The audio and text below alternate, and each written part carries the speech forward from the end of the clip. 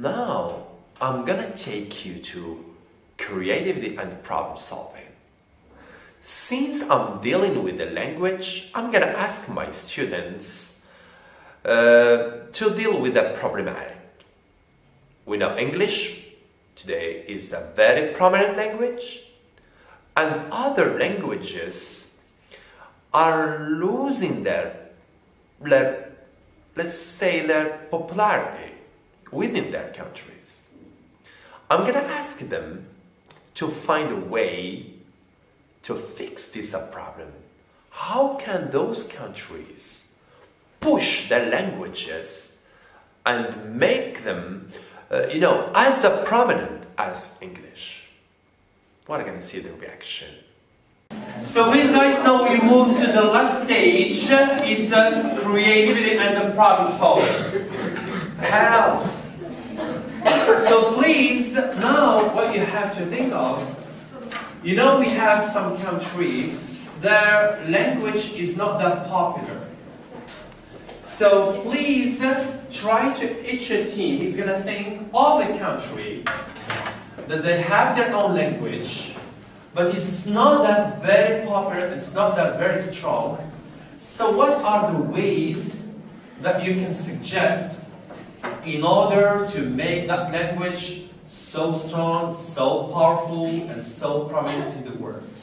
Are you ready? So each team, you choose a country and a language. Okay? The time to think of these is five minutes. You have five minutes to think of yeah, any country. How we can solve it. How we can Okay, guys. Time is over. Thank you. Thanks a lot.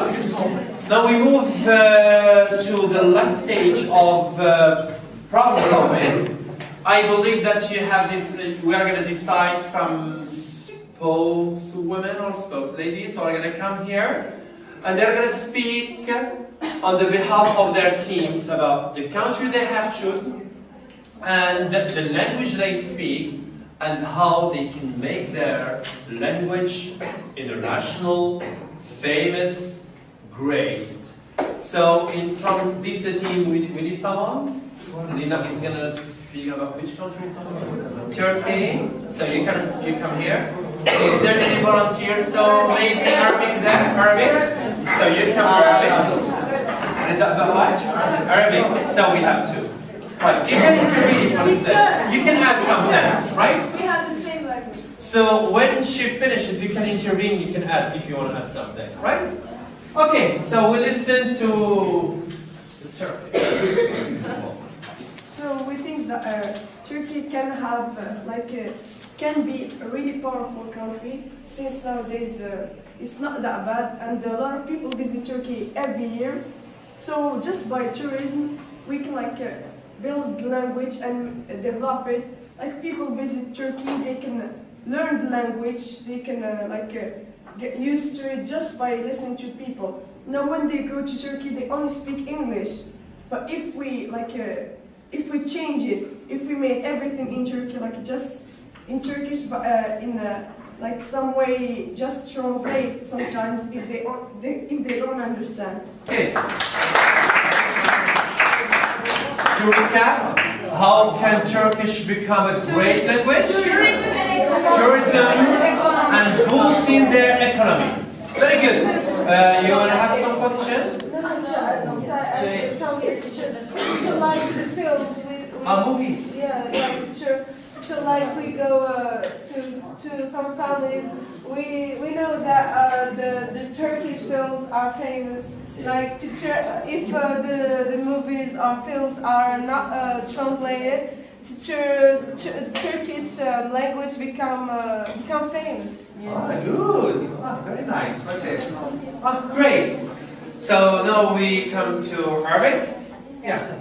So, since Arabic, we use it in our lives, but if we go, for example, to visit another country, we change our language. It is, it is something not good, because we must keep our own language. And, for example, when people come to visit Morocco, we are obliged to change our language. But when we visit them, we change the language. So why do we have that? We must keep our language and be proud of it. And if they want to communicate with us, they have to change their language. So um, that is the first thing. Second, in our schools, uh, for example, uh, this year we have seen that there is the international ban. Why do we have it? We are speaking Arabic. And Arabic is also important, so if we want to make it much more important, we must keep our language. So, if we speak French, and everyone will speak French, we will have no Arabic, and Arabic will, we will like lose our own language. Thank you. So there, I think there are some questions. Uh, one, two, and three. Uh, I just wanted to say something in brief. Well, you, you speak Arabic, you speak just Arabic to Arabic people, but you speak English or French, you speak to, to the globe. So I don't think that you're going to make Arabic a powerful language from a day to another. It needs time. So for the moment, the underdeveloped follow the developed, and that's it. You have to accept it. Okay, let's recap. When we flip, we have out class activities and in class activities. Since I'm flipping listening comprehension, so please, dear teachers, try to select the appropriate material that can motivate and not demotivate the students. If you want to challenge, challenge them in class, not out class.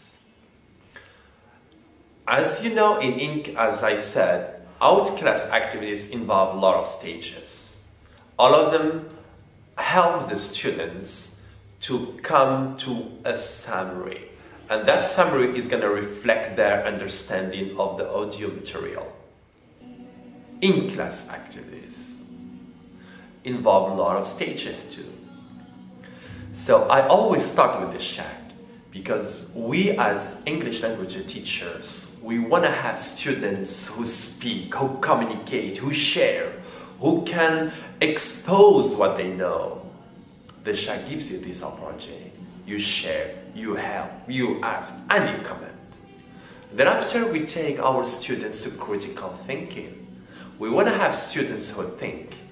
When we flip, we help the students have enough time to think and to give their own opinions.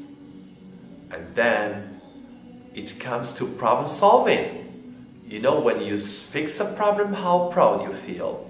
So the same thing for the children, and the same thing for the teenagers, and for the same thing for all the students who benefit from flipped learning classes. So please, just give them the opportunity to flip, and you're gonna see the change, radical change. You are gonna be proud of your students and proud of your work too. Thank you.